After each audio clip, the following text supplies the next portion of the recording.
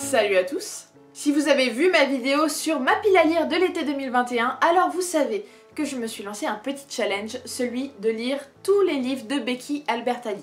Il y a maintenant 2-3 ans, j'avais lu le livre Moi, Simon, 16 ans, Homo sapiens, qui est un de mes livres préférés, et c'est d'ailleurs de Becky Albertalli, et j'étais tombée totalement amoureuse du personnage de Simon Spire, et du coup, je me suis dit, il est temps de réparer mes erreurs et de lire tous les livres de cette autrice. Et j'ai vu qu'il y avait une suite aux aventures de Simon et de toute sa bande, et c'est de ça dont on va parler aujourd'hui. Aujourd'hui, nous allons donc parler de Léa à contretemps de Becky Albertalli, c'est aux éditions Le Livre de Poche, et c'est traduit par Mathilde Tamae Bouon.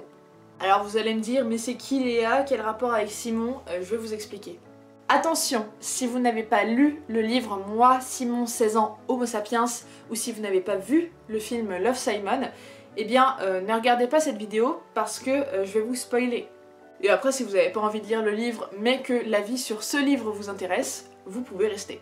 Léa Burke, parce que oui, c'est son nom, elle adore jouer de la batterie et dessiner, mais ce qu'elle préfère, c'est traîner avec son meilleur ami, le démolisseur d'Oreo, j'ai nommé Simon Spire. Voilà, ça y est, vous avez le lien entre Léa et Simon, ils sont meilleurs potes. C'est leur année de terminale et tout part en vrille pour Léa. Pour Simon et Bram, tout va bien, mais pour Léa, ça va pas si bien que ça. Elle voit que le couple Abby et Nick est en train de sombrer dans un naufrage digne du Titanic, mais elle se dispute également avec ses amis d'enfance, et en plus, il y a un garçon qui lui tourne autour, qui s'appelle Garrett, qui est très sympa, mais en fait, Léa n'a absolument pas envie de sortir avec lui. Voilà, il ne l'attire pas.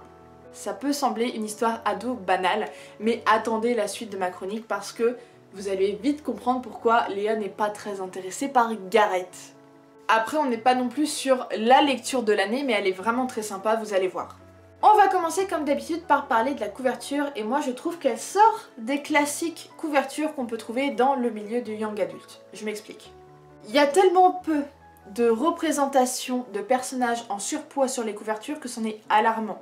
Et je vois pas pourquoi, parce que la couverture là, elle est quand même hyper badass et elle représente très bien Léa. On la voit dans sa robe jaune de bal, en train de boire une petite boisson, ses lunettes de soleil sur le nez et elle ne sourit pas. Mais ça, ça correspond parfaitement à Léa. C'est-à-dire que c'est un personnage qui est très cynique et qui sourit très peu souvent, qui fait beaucoup d'humour noir. Bref, ça, ça correspond à Léa, ça correspond à l'histoire.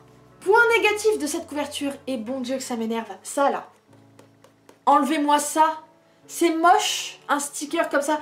Attention, j'adore Nick Robinson. Je suis fan de Nick Robinson, je le trouve incroyablement beau. Mais j'ai pas envie de le voir sur un de mes bouquins en fait. Enlevez-moi ce sticker de film. Je m'en carre que c'est la suite de Love Simon, je le sais, parce que c'est marqué derrière. Y a pas besoin en plus d'un sticker moche. Puis je vous annonce que j'ai le troisième tome et qu'il y a également ce sticker moche. Ou au moins faites un sticker qui s'enlève. C'est l'illustratrice qui doit être contente de voir son travail gâché par un putain de sticker. Niveau écriture, c'est un secret pour personne. J'adore, mais j'adore l'écriture de Becky Albertelli. Je trouve qu'elle est emprunt à un réalisme qui est tellement incroyable, qui est tellement poussé, qu'en fait on a l'impression d'être un personnage du livre. Voilà, on a l'impression d'être dans ce bouquin. Aucun personnage n'est parfait, ils ont tous leurs défauts. Il n'y a pas un pet de personnage trop lisse. Voilà, ça, ça fait plaisir. Des personnages qui ont des défauts, mais quel bonheur, merci. L'écriture est fluide, elle est extrêmement naturelle, c'est presque du langage parlé, enfin vraiment c'est... On a l'impression qu'elle écrit comme elle parle, tout simplement. Et c'est très agréable, enfin moi je trouve que c'est un style littéraire qui est très agréable. Il y a de la légèreté, il y a beaucoup d'humour, mais vraiment il y a beaucoup de vannes. Et il y a des références que j'adore, notamment Harry Potter, qui était déjà là dans le premier tome, et on est ravis de retrouver Harry Potter dans ce tome-là. À chaque fois, elle parvient à m'enfermer dans une bulle de confort, de joie et de sécurité. C'est incroyable. La seule chose que je reprocherais éventuellement à ce livre, c'est qu'au bout d'un moment, on finit par tourner un peu en rond. Ça, c'est vrai, il y a quelques longueurs à un moment, et je me suis dit, aïe, voilà, c'est à ce moment-là que ça accroche quand le personnage commence à tourner en boucle. Ça, ça sent pas bon. Mais ça a fini par repartir, mais il a fallu un petit moment. C'est pour ça que j'ai mis que 4 étoiles sur 5 sur mon blog, parce qu'il y a eu ce moment de bug, entre guillemets, qui était un peu trop long. Et puis aussi, j'ai l'impression qu'on reste un peu en surface comparé à Love Simon, où on est allé vraiment en profondeur dans le personnage de Simon. et dans les thématiques surtout qui y sont. Là, on est plus, euh, voilà, on regarde en surface et on n'ose pas trop aller en profondeur. Le thème principal de ce roman n'est pas l'homosexualité, comme j'ai dit comme une grosse gourdasse dans ma pile à lire de l'été. Enfin, j'ai supposé que ça parlait d'homosexualité, mais c'est faux, ça parle de bisexualité, voilà, comme ça vous êtes au courant. Le personnage de Léa est bisexuel et c'est la première fois dans un roman que je trouve une héroïne bisexuelle.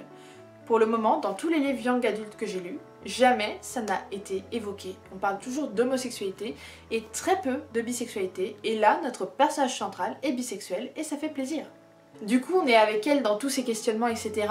Après, c'est vraiment acté dès le début. Voilà, elle est bisexuelle, elle le sait, elle n'a aucun doute. C'est pas un questionnement de est-ce que j'aime plus les filles ou les garçons, non, non, elle dit immédiatement j'aime les deux de la même façon. Mais il y a quelque chose qui m'a surprise quand même dans ce roman, c'est le fait qu'elle peine à en parler à Simon. Mais vraiment, elle, elle galère de ouf. Hein.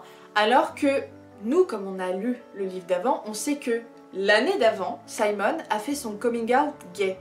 Et que maintenant il est en couple avec un garçon, que ça se passe très bien. Et vraiment, on ne comprend pas pourquoi Léa stresse autant alors qu'elle-même le dit. Simon va très bien le prendre, elle le sait.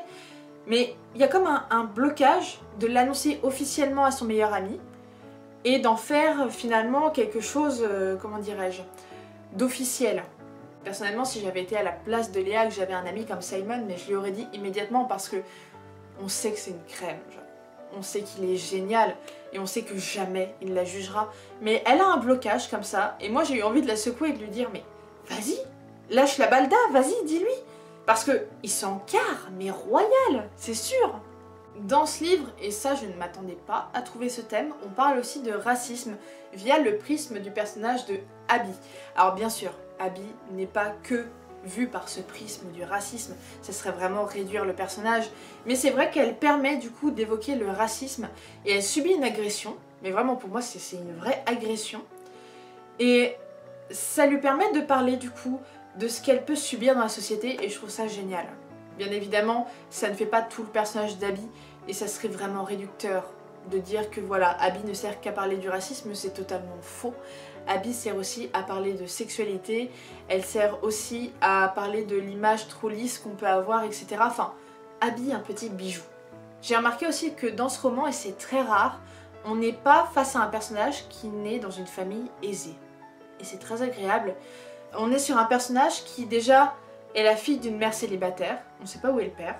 Et Léa, elle fait très attention à l'argent, elle fait très attention aux dépenses de sa mère, à ce que sa mère ne se mette pas dans le rouge pour elle. Enfin, vraiment, il y a aussi cette situation de précarité qui est évoquée et qui est très intéressante. Moi, personnellement, je la trouve très intéressante parce que, encore une fois, c'est un terrain trop peu... Euh, comment dirais-je Qui est trop peu évoqué dans les livres alors qu'il arrive. Voilà, la précarité, c'est quelque chose qui arrive. Il y a plein de personnes qui sont dans des situations précaires et qui méritent aussi d'avoir un personnage qui leur ressemble, voilà. Personnellement, je me suis beaucoup retrouvée dans euh, le caractère de Léa. Voilà, je tenais à le dire. C'est un personnage qui peut être butant parce qu'elle est très cynique et très directe, mais moi j'aime les personnages comme ça, voilà. J'aime les personnages qui vont droit au but et qui sont drôles en plus. Enfin, en tout cas, elle a mon humour, donc moi je la trouve drôle, mais il est possible que vous, vous ne la trouviez pas drôle. J'ai vu que certains lecteurs avaient dit qu'ils la trouvaient trop gamine, mais moi, je me mets à sa place et je me dis voilà, je suis une adolescente et il y a tel problème, tel problème, tel problème, et ça s'empile, ça s'empile, ça s'empile.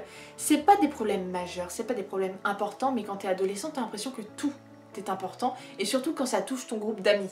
Voilà, faut se mettre à la place aussi d'une adolescente.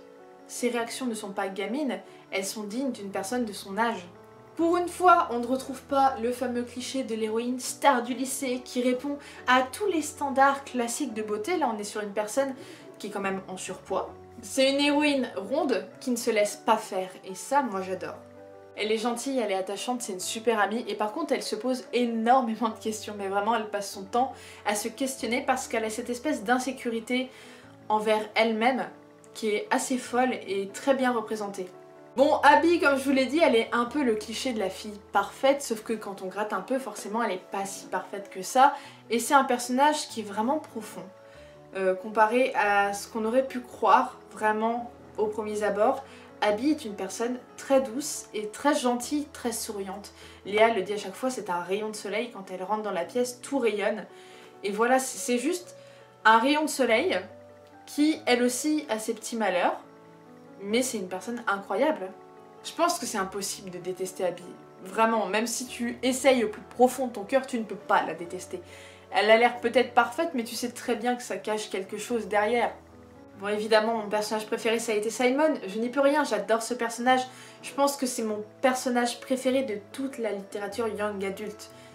Vraiment, je le trouve incroyable. Il est maladroit, il est gentil, il est drôle, il a de super bonnes rêves. Vraiment, c'est l'ami que t'as envie d'avoir. C'est vraiment le pote génial. J'ai eu beaucoup de mal avec le personnage de Nick. C'est un personnage que j'avais trouvé sympathique, moi, dans le premier tome. Et là, dans ce deuxième tome, mais ça se dégrade, mais de ouf. Il est désagréable, mais vraiment. Et euh, il est presque méchant d'ailleurs. Moi, je le trouve méchant de temps en temps. Il se laisse totalement aller et... Enfin, c'est pas un personnage que j'apprécie, Nick. Honnêtement, c'est un personnage qui, voilà, devient de pire en pire au fil de la lecture. Et même si tu peux comprendre certains agissements, euh, voilà, c'est... Moi, il, ne m'intéresse pas. C'est pas un personnage qui m'intéresse et c'est pas un personnage à qui j'ai envie de donner de l'amour, tu vois. Autre personnage que je n'ai pas du tout aimé, mais pas du tout, les amis de Léa, les filles là, le groupe d'amis d'enfance. Mais, mais moi je les aurais jartées depuis longtemps, elles sont tellement superficielles alors que Léa est pas du tout comme ça. Je sais pas, je ne sais pas ce qu'elle fait avec elle. Par contre, petit point bonus pour Gareth, qui est clairement le clown de l'histoire, dans le sens où, vraiment le pauvre quoi. le pauvre il s'entête avec Léa qui ne veut pas de relation avec lui, puis ça se sent. Dans ses paroles, dans ses actes. Gareth, elle ne veut pas être avec toi, mais lui, il insiste parce qu'il est amoureux. Il est adorable, mais qu'est-ce qu'il est lourd. Vraiment. C'est une lecture que j'ai trouvée très sympa et qui est parfaite d'ailleurs pour l'été, hein, je tiens à vous le dire. Vraiment, les livres de Becky Albertalli, enfin du moins la saga Love Simon, l'été c'est parfait. C'est très frais, c'est très drôle. L'écriture est géniale, enfin je suis désolée, l'écriture, moi c'est ça qui me... Waouh L'écriture est hyper cool. C'est une héroïne comme on en voit peu, et ça, ça fait plaisir à la littérature young adulte. Et je vous avoue que je me sentais tellement bien dans cette lecture que je suis déjà en train de lire le tome 3. voilà, tout simplement, c'est un tome qui sera de 132 pages je crois, donc très court, mais qui parle de la vie de Léa, Abby, Bram et Simon. Voilà, Nick a disparu, tant mieux. Et j'ai hâte de vous en parler parce que moi c'est une bande que j'adore, c'est une histoire qui me réconforte, qui me fait du bien, qui est très fraîche et vraiment je vous la conseille. En tout cas, merci d'avoir regardé cette vidéo. Si elle t'a plu, n'hésite pas à la liker, à la commenter, à la partager à tes amis, à t'abonner, ça fait toujours plaisir. Le lien de ce livre, si tu veux te le procurer, j'ai un petit lien en barre d'infos pour toi, voilà. Salut